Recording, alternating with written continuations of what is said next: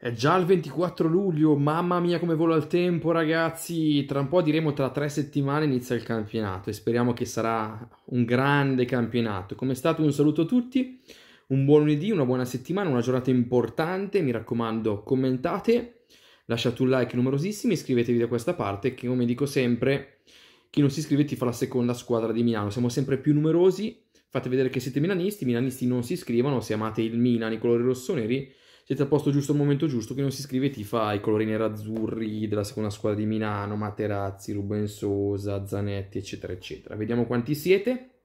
Allora ragazzi, dico subito una cosa. Vedete, non ho grandissime occhiaia, non mi sono svegliato alle 4, mia moglie mi avrebbe ammazzato, quindi no spoiler. No spoiler, non ditemi com'è andata la partita stanotte, eh, così che tra poco posso rivedermela e nel prossimo video, insomma dirò il, eh, le impressioni, il punto di vista, quindi non ditemi com'è finita, chi ha segnato, eccetera, eccetera, proprio voglio vederla, me la sono registrata come se fosse tra poco in diretta, purtroppo alle 4 di notte, insomma, non, eh, non sono riuscito, ecco. E quindi vediamo un po', chissà, chissà com'è andata, non ho sensazioni, non ho guardato nulla sul telefonino e quindi vediamo tra poco magari anche qualcun altro come me, quindi ci sta che anch'io non ho spoilerato eh, anche ad altri, che voi non spoil- spoileriate anche ad altri. Allora amici, giornata molto importante, c'è una situazione che dobbiamo chiarire, si parla dell'Arabia, adesso sviluppiamo tutto, ma eh, siete tantissimi, tantissime domande, anche sul nuovo canale Telegram, dopo vi spiego come si fa a iscrivervi se volete, i capelli hanno fatto nottata invece, rispo- rispondo in questo video alle vostre domande e vi do ovviamente anche le notizie in quella che potrebbe essere una giornata importante. Eh, non vedo l'ora che cominci la stagione, sono sicuro che i nuovi acquisti faranno molto bene, avremo una squadra super competitiva in Italia e in Europa, forza Milan, non ho nulla da aggiungere, chi incontro, chi, senso, chi sento su Whatsapp i vostri commenti, noto tanto, tanto entusiasmo e sono molto contento, ne avevamo bisogno. E poi Matteo, eh, dobbiamo pensare a vendere e pareggiare un pochino il bilancio tra entrate e uscite. Pensi che sia possibile sperare in un grande mediano recupera palloni? Io voto Amrabat tutta la vita e servirebbe. Eh, Amrabat mi piacerebbe tanto. Mi piacerebbe molto come recupera palloni anche Yulmand. Però come centrocampista primo obiettivo c'è Musa, che ieri tra l'altro non ha preso parte agli allenamenti con eh, il Valencia svizzero ufficialmente per un fastidio al ginocchio. Chiaramente perché insomma non si vuole rischiare, il giocatore comunque con ogni probabilità vestirà i colori rossoneri. Però ci possono essere delle sorprese, ad esempio Daniele Michele di Gravenberg è ancora aperta. Diciamo che non è chiusa, non è spalancata, è un'opportunità che eventualmente si può creare ad agosto. E Mina vuole cedere giocatori perché poi si creano anche delle opportunità, diciamo più per il discorso attacco. E adesso ne parliamo. Assieme all'uscita dell'Esuber e all'arrivo di Musei Calafiori, su Calafiori non sono sicurissimo, la ciliegina per me sarebbe Fresneda come co-titolare di Calabria, che ne pensi?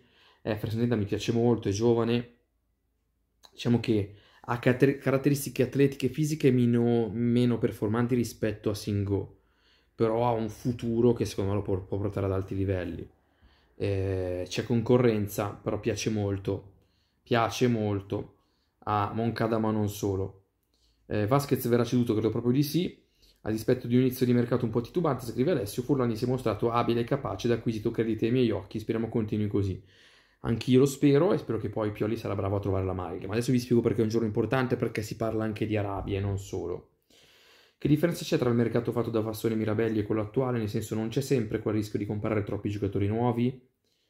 Ma diciamo che c'è sempre quel rischio. Però dipende anche chi compri e chi sta in panchina comunque e chi hai già in squadra. Cioè quel Milan non aveva giocatori forti che questo Milan ha. Megnan, Teo, eh, Leao, eh, sono giocatori forti. Benasser quando rientrerà. Quindi c'è già un'ossatura che in quel Milan non c'era. E poi stai prendendo giocatori che devono dare tanto. Bonucci non si era... c'entrava niente con noi, non fatelo più nominare. Bigler è arrivato. Sugli altri, insomma, hanno sbagliato il tipo di profilo, ecco. Quindi io sono molto più, più fiducioso questa volta. Eh, per la fascia sinistra potevamo riprenderci Kerkez? No, perché l'hai venduto a 2, non te lo ricompri a 15 l'anno dopo. Fare crescere Zeroli e Bozzolan ed altri, ed altri primavera. Zeroli anche me piace molto, anche Bozzolan per carità.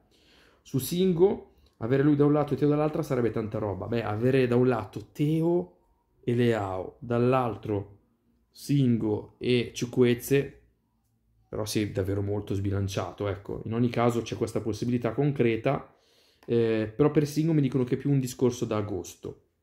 Dominguez per il centrocampo sarebbe il top, conosce già il nostro campionato, è forte, negli ultimi due anni ha maturato molto. Sono molto d'accordo con te, piace molto anche a Pioli, però sulla notizia dobbiamo restare in questo momento più su Musa. Ha più senso usare come modulo il 4-2-3-1 perché poi si riesce a incastrare alla perfezione tutti gli acquisti, o il 4-3-3. Allora, eh, secondo me, se hai così tanto popò eh, così tanto bene, così tanti giocatori forti là davanti, è un peccato lasciarne in panchina due alla volta. Quindi farei 4-2-3-1, però in mezzo al campo trovare l'equilibrio non sarebbe facile. Diciamo che entrambe le situazioni alternandole. I Cardi, qualcuno lo propone, Mina ritiene che Cardi non sia un profilo da Milan oggi per tanti motivi.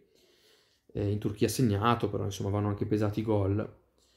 Eh, bisogna capire se lo scorso anno è stato un problema di giocatori o del mister. Diciamo che un po' tutto, anche nello spogliatoio, non c'era l'armonia tra guida tecnica e certi giocatori, guida tecnica e, e area tecnica. Insomma, speriamo davvero che possa essere una bella annata. Questo Milan dove può arrivare? Beh, io, io non credo fisso che è la seconda stella. In Champions vedremo. Ma Krunic, visto che molti lo considerano addirittura un giocatore di calcio e un paladino dell'equilibrio che è indispensabile in ogni gara, perché nessuna squadra sia avanti per lui? Ma un po' ingeneroso secondo me. Krunic credo che giocherà soprattutto molto all'inizio, in attesa che gli altri si inseriscano. Per me è un giocatore sottovalutato, che nel mio Milan è riserva, non titolare. Mm, perché non vengono? Beh, anche per Benasser allora non sono venuti al momento. Insomma, direi che io me lo tengo stretto. Se fosse rimasto Maldini avremmo fatto questo tipo di mercato? No, ma io ho la sensazione netta che a Maldini non davano più anche le risorse economiche proprio perché lo volevano far fuori. E quindi, eh, insomma, si è svoltato anche a livello di investimenti perché questo Milan vuole fare bella figura e, ed è tutto bello in armonia perché sono tutti eh, della stessa anima, ecco. Maldini con la, con la proprietà non andava d'accordo. Una volta preso Ciuquezze, del quale adesso vediamo delle novità, il mercato del Milan si chiude. Non pensi che sia troppo votato l'attacco con tutti i rischi del caso? Sì. Ci vorrebbe un giocatore là che si dice. Beh, eh, direi che il Milan è votato l'attacco. Mi è stato detto che si vuole fare una squadra votata all'attacco, però l'equilibrio è fondamentale, quindi va trovata la quadra. Tu puoi aggredire, puoi essere padrone, ma devi trovare l'equilibrio. Non so ancora come Pioli lo voglia trovare. Eh, Bartolo dice non sono così sicuro che abbiamo chiuso per Samuel Ciuquezze, Villarreal bottega molto particolare, adesso ne parliamo. Se dovesse arrivare Musa potrebbe essere data qualche chance a Zeroli, si dice che abbia stregato Pioli, piace molto, l'altro ha fatto un bel gol l'altro giorno di testa e spero che possa essere magari il terzo del vivaio Milan, perché no? Visto che il Barcellona sta prendendo la prestito di che sì, perché non farci un pensierino? Ah, io lo farei tutta la vita. Lui tra l'altro tornerebbe molto volentieri, però in questo momento non c'è molto, bisogna restare più su Musa. Se, se Ciuquezza è così forte, perché nessuna big europea lo ha trattato preso? Ma mh, mm, può valere anche per tanti. Diciamo che si sono spostati anche giocatori magari più pronti. Eh, penso ad Asensio. Eh, ci sono squadre top che lì hanno già giocatori, quindi non hanno necessità di prendere un giocatore sulla destra tante valutazioni che vanno fatte, poi speriamo di essere più bravi. A me è un giocatore che fa impazzire. Ma arriva o non arriva? Si è parlata ieri di una proposta araba, adesso lo sviluppiamo. Eh, un centravanti forte fisicamente, Stefano serve. Eh, poi i giocatori possono rifiutare il prestito, certo, certo, assolutamente sì. Slalom Ciuquezze non è male, non è male Luca come soprannome però potrebbe esserci magari qualche altro consiglio. Eh, Radde Krunic, Pobega e Musa sono mezze ale, pur rendersi definito lui stesso offensivo, siamo un po' troppo offensivi. Sono d'accordo con voi, qualcosa non torna. qualcosa non torna perché manca il giocatore difensivo davvero. Vero che poi quando torna Benasser, ragazzi, Loftus Cheek, Benasser, Reinders, Musa se arriva, Benasser non ci voleva quell'infortunio, altrimenti saremmo al top, top, top. Manco un vero bomber, Lukaku proprio no. Allora, io su Lukaku ho speranza, adesso c'è stato questo rilancio arabo. Vediamo. Quando mi davate per il pazzo vi avevo detto, guardate che Fulani ha chiamato il suo entourage, ha chiamato il Chelsea. Vediamo. Potrebbe essere quell'occasione d'agosto, se lui nel frattempo non va altrove. Speriamo che arrivi Ciuquezzi che non ci facciano uno scherzetto. Adesso rispondiamo. 3-4-2-1 eh, o 3-2-4-1, 4-2-2-2, insomma Pioli deve sperimentare, eh, bisogna, bisogna, fare bene. Serve subito un centrocampista. Secondo me necessità l'abbiamo abbastanza coperta, quindi Milan vuole che Lim abbassi il prezzo di Musa e può aspettare anche opportunità tipo Gravenberg, ma non solo. Eh, tanti chiedete di che sì, tanti, tanti lo chiedete. Quando sarà pronto un nuovo stadio, allora il Milan dovrebbe fare altri tre campionati, ne parlavamo ieri, e poi sarebbe pronto. Primo mattone, gennaio 2025 a San Donato. Eh, poi ancora, se si pensa a Scamacchi, lo lascerei stare e punterei sul nostro Lorenzo Colombo.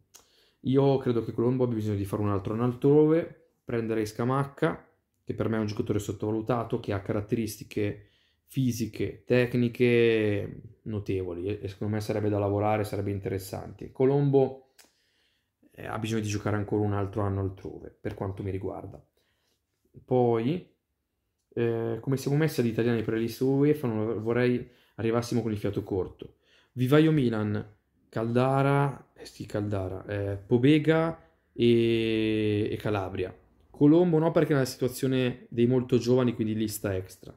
Lista italiana, Mirante, Sportiello, Florenzi, Oggi c'è Caldara ma non lo vogliamo, quindi manca uno slot da quel punto di vista. Siamo più messi male dalla questione list Milan, vivaio Milan. Con i soldi di CDK e Orighi riuscissimo a prendere un terzino destro titolare forte, una punta non ci fermerebbe nessuno. Che dici? Sono d'accordo soprattutto sulla punta, sulla destra credo che arriverà qualcuno comunque, quindi spero che si possa ricavare qualche soldino qua e là. Gravenberg ed etichette che a fine mercato in prestito sono opportunità che non vanno assolutamente trascurate, eh, anche se a me che non convince a pieno, però abbiamo preso anche Okafor, quindi ci sono tante possibilità. Il centrocampista che pensi sarà, secondo me, Musa. Poi magari non è l'unico, eh, perché anche Adley è in uscita. Se tu giochi con i tre, devi averne sei, Krunic, Pobega, eh, Musa, Loftus-Cheek, eh, Reinders e Benasser che rientra a gennaio. Vediamo se magari c'è spazio anche per un altro. Non è meglio Gravenberg in prestito? A me piace più Gravenberg di Musa. Sì, direi di sì. Hanno caratteristiche però diverse. Scamacca con una vendita di telare. Ieri si parlava anche del West Ham su Orighi. Capite insomma che Milan clamoroso, scrive Saverio. C'è spazio ancora per un'altra ciliegina? Io credo proprio di sì e sarà ad agosto. Questa non è l'ennesima dimostrazione che tutto passa ma il Milan resta. Michael sì. Effettivamente sì effettivamente un mese dopo siamo qui tutti contenti. Perché è brutto, cioè certi giocatori passano, certi dirigenti purtroppo passano, ma rimangono nel cuore, però il Milan resta e ci si affeziona anche al nuovo per il bene del Milan. Nzola e Dia no, eh, Way come 9 è possibile, mi sembra troppo, sinceramente mi sembra troppo, mi sembra sinceramente troppo perché costa. Eh, magari ragazzi, voi mi piace molto, eh, Yulman, visto che siamo molto sbilanciati, sono molto d'accordo con te. Eh, Milanello non risponde, dovrebbe chiamarsi, l'importante è che ci siano interazioni per il canale. Silvio, non hai capito il format? Io rispondo nei video a Milanello risponde, non ai messaggi. Tanti su Lukaku, io sono assolutamente favorevole. Mbappé un domani, ma non adesso. Provare Salemacher centrale di centrocampo a far legna, no, non è il suo ruolo. Tra l'altro in giornata credo che vi darò novità su Salemakers. E poi Alessandro anche lui dice un Mirabelli miss, eh, spero di no. Il prossimo video con Carlo Pogliani spero questa settimana, sono molto curioso di coinvolgerlo. Eh, un'operazione sulla destra verrà fatta, un TT è andato a Lille quindi non può venire al posto di Calabria. Eh, mm mm mm, mm, mm, mm, e poi l'amico spiega la questione liste. Giornata importante perché oggi non è un giorno da dentro o fuori. però è un giorno molto importante nel quale mi aspetto la fumata bianca per Ciuquezze. Se si dovesse arrivare a domani o dopodomani, significherebbe insomma che qualche rallentamento c'è stato. Ieri qualche, qualcuno insomma da radiomercato si parlava di un'offerta eh, araba per Ciuquezze che sta facendo questo club arabo sta facendo di tutto per provare a portarselo lì. A me sinceramente non risulta questa notizia, notizia che rispetto, potrebbe anche essere vera, a me non risulta, quindi mi aspetto che oggi possa essere il giorno di Ciuquezza al Milan, sperando che questa proposta araba non sia vera. Personalmente non ho trovato conferme, però ecco, magari arriva dal mondo arabo e lì sinceramente non ho al momento grandi relazioni se non con l'amico Sultan che coinvolgeremo presto sul nostro canale per la questione societaria. Quindi oggi speriamo possa essere il giorno di Ciuquezze, riteniamo che possa essere il giorno di Ciuquezze e se arriverà Ciuquezze, pam, esplodi di gioia perché per me è un giocatore fortissimo.